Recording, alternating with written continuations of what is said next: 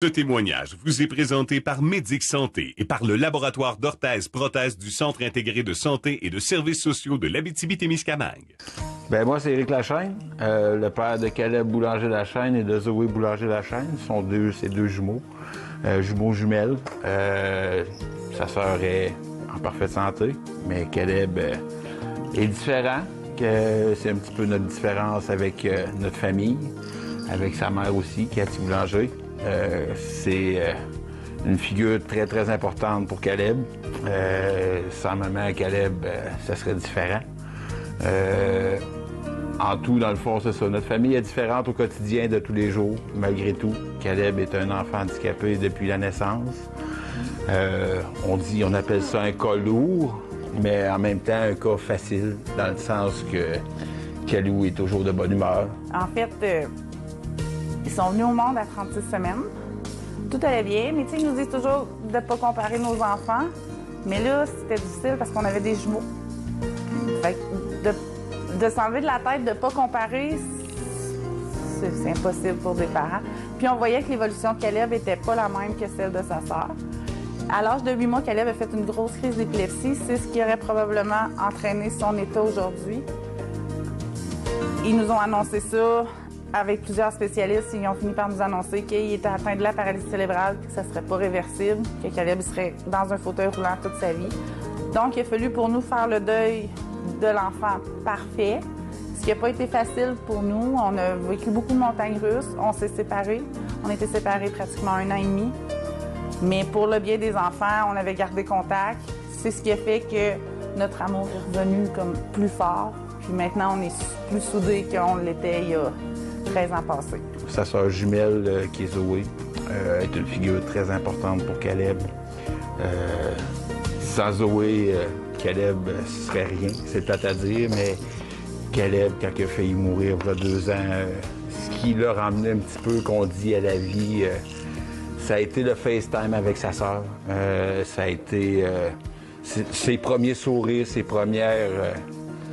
développer, euh, c'est son premier développement à l'hôpital pour dire que, ouf, OK, ma soeur est pas loin pareil. Elle a trouvé ça très difficile de passer proche de perdre son frère. Euh, elle elle-même a demandé de l'aide à l'école, euh, dans le sens que elle se posait beaucoup de questions, dans le sens à savoir si elle était normale, si c'était normal de se dire des mauvaises choses dans sa tête, comme pourquoi que mon frère est pas pareil, pourquoi que mon frère est en vie. Euh, tu sais, des choses qu'on finit tous par se demander, même en tant que parents, dans le sens que euh, on se demande euh, pourquoi nous, pourquoi notre famille? Mais Zoé s'est posé des questions.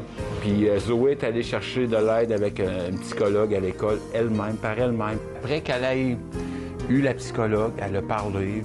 On lui a parlé en tant que parent en disant que c'était normal de se dire que elle aurait aimé ça que son frère soit pas au monde, qu'elle aurait eu plus d'attente. Tu sais, que c'était normal, que même nous, en tant que parents, euh, sans être méchants, on y a déjà pensé. C'est, une réalité qu'on a, parce qu'à quelque part, on se dit Que la vie serait plus facile. que c'est ça. Tout serait facile, mais c'est pas notre quotidien malgré tout. Mais c'est ça. Zoé, elle a comme évolué là-dedans, puis aujourd'hui, son frère, euh, il n'y a pas personne qui peut dire que son frère, c'est un mongol, que c'est un handicapé, que c'est. Non, pour elle, c'est eux autres qui sont pas normales. Son frère est normal, mais les autres autour qui ont du jugement. Non, euh, il n'y a pas personne de mieux placé que sa propre sœur pour savoir ce qui se passe avec Caleb. Est-ce qu'il est correct? Est-ce est- que tout va bien? Euh, Zoé prépare son gavage. Zoé fait manger Caleb. Euh, Zoé s'occupe de son frère comme nous, on s'en occupe. Toujours là pour son frère. C'est une petite perle qui s'occupe beaucoup, beaucoup, beaucoup de son frère. Nous, la ressource nous a grandement aidés côté matériel, équipement. Le lit de Caleb, qui est un lit euh, mécanisé, motorisé, d'hôpital, a été prêté par la ressource. Le lève-personne, euh, les sièges de bain pour le laver aussi, ça nous a été prêté par la, par la ressource. On se dit qu'il y a des personnes, des familles qui sont plus... C'est plus compliqué que nous autres aussi au quotidien.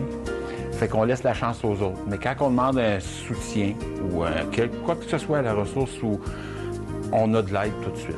En général, le- la réponse est assez rapide. que ce soit par téléphone, par courriel.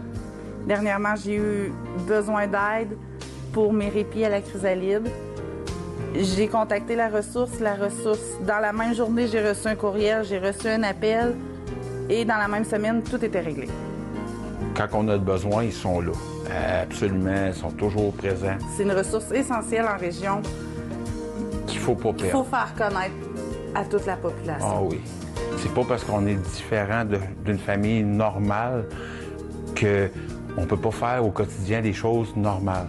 Euh, dans le sens que Caleb, euh, allait jusqu'à aujourd'hui, Caleb fait des glissades d'eau, Caleb fait du bateau, fait du quatre roues, fait du skidoo. Euh, je l'emporte partout avec moi. Tant que je vais être capable de le traîner, Caleb va toujours avoir une vie quand même normale, si on veut, en guillemets. La seule chose, c'est que c'est ça, de dire aux familles de ne pas se décourager, puis d'avoir chaque chose, chaque, chaque petit moment qui, qui est un bonheur ou d'en profiter. Chaque jour, chaque chose à son temps. Chaque petit bonheur de l'accepter puis de l'apprécier chaque jour. On ne sait jamais ce que la vie nous réserve. Euh, nous, on l'a vécu. On a fait perdre notre fils il y a deux ans. Euh, mais aujourd'hui, on se rend compte que la vie elle peut être très fragile, mais de profiter de chaque moment.